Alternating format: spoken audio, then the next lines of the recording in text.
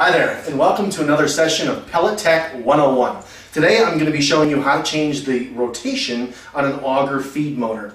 So we have uh, several different auger motors out there, different RPMs. Some are either clockwise or some are counterclockwise. The rotation is determined when facing the motor shaft. And in certain applications, the rotation needs to be changed. This one, for an example, is a 2 RPM clockwise motor and for our application, we need to change it to a counterclockwise rotation. So I just have a standard number two Phillips screwdriver, and I have four screws. I have two screws that hold on the magnet, and I have two screws that hold on the armature. So I'm just going to start by first removing the screws that hold on the magnet.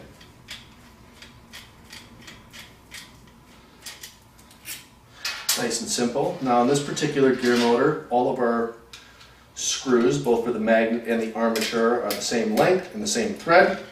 You may find that to be different on other auger motors that are out there. So just important you set the screws aside accordingly so it's nice and easy when you need to put it back together.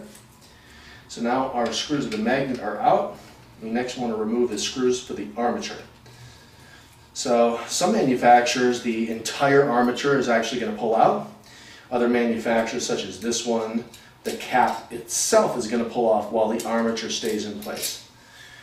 The important thing is we just want to be nice and gentle and careful as we go through this process. So that's my last screw here. So now I'm just gently going to wiggle this just a little bit. And the cap for my armature comes right off and the armature stays in place. This one has these fine little washers in place. We want to make sure that those stay on. And the next thing I'm going to do is I'm going to pull off this magnet. So the magnet is actually what's controlling the rotation of the auger motor. By flipping the magnet 180 degrees, we're going to change the polarity and the rotation. So I'm just giving it a full 180 flip, putting the magnet back down. You'll kind of feel it click or lock into place. And now that I have that magnet in place, I just want to start to thread the screws that hold that magnet down, just so that's nice and secure as we're putting back on the armature cap. So I'm just going to thread those in a little bit.